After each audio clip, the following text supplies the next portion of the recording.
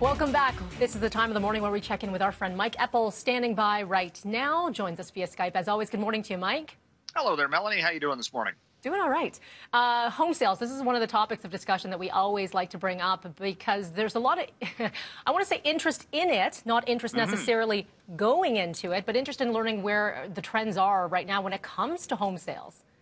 As home sales basically came to a screeching halt in the first half of this month, the uh, preliminary data in from the Toronto Regional Real Estate Board this morning indicates that in the first 17 days of April, home sales fell 69% compared to the same time frame last year. What, what, we're seeing is a lot of the economic tabulations, they're trying to move things forward to give a more uh, immediate uh, indication of where things stand in the midst of the pandemic shutdown.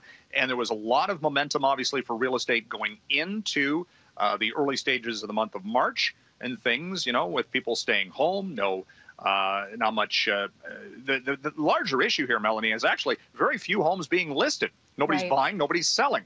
Uh, new listings fell by 64% year over year. So you've still got this balance for all intents and purposes. And the net result, prices aren't moving all that much. The average price was down one and a half percent, but I just looked at some of the the uh, the specific regional breakdowns uh, certain areas of the city saw prices still substantially higher than they were a year ago. So as we move through this, the thinking is that once some of the restrictions are lift, lifted and things start to get back a little bit to normal, there's going to be so much pent up demand as there was going into the pandemic that we're going to see uh, home sales and prices bounce back substantially. Again, the wild card is how long does all That's of the it current restrictions, how long do they last? How long? Yeah, there's so much yeah. uncertainty and so many factors that we yeah. need to contend with here. Uh, let's talk about this the price of gas dropping mm-hmm. significantly tonight.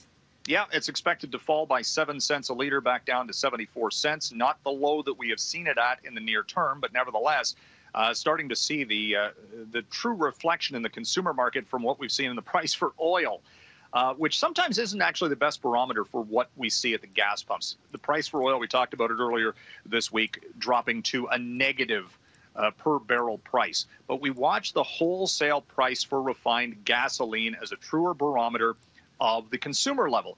And that price started to drop by about 10%. So, lo and behold, the price of the pumps coming down uh, came down a, a, penny at midnight, and then another seven cents tomorrow, down to the 74 cent uh, per liter range. So it, it's it's the vagaries of the oil market at the in the near term. Again, dr- aren't very many people driving. You know, nobody's flying. The market, it's you know, we're talking about well, yeah, cheap cheap gas. That is a terrible economic signal. Let's face it. The energy sector in this country and globally is getting crushed right now, and that is a direct fallout of the uh, the pandemic shutdown. Absolutely, and you see, ooh, nice, a seven cent price drop, yeah. but one, a lot of people aren't driving, and, and who's even it. taking advantage of it anyway, uh, other than essential workers. Uh, let's talk about Tiger King. You have not watched it yet, right? I have not. You haven't. I have. I, I haven't watched the bonus episode yet. It's it's horribly good, should I say?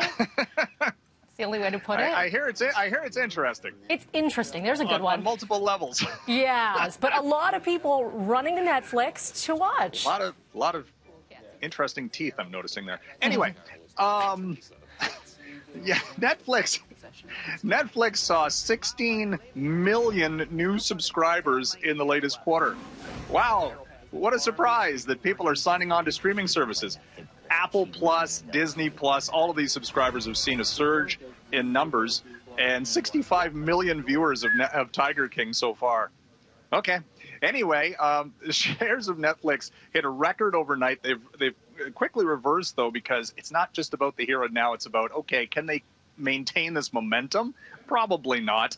You know, it's it's again there are uh, limits to how many people will uh, subscribe to a lot of these services, and and don't, don't let's not discount the fact, Melanie, that you know a lot of people are unemployed. Mm-hmm. You know, it it it these subscriber services you do one or five or ten or how many there are that adds up. So there are going to be you know some uh, considerations being made from a budgetary standpoint for a lot of consumers, and that is something Netflix talked about in its earnings update as well. Absolutely. I think a lot of people join, get the free trial, and get on out. That's what uh, I did with one service. I won't mention which one, just to watch something. Go. All right. Thank you, Mike. Thank you. Have a great day.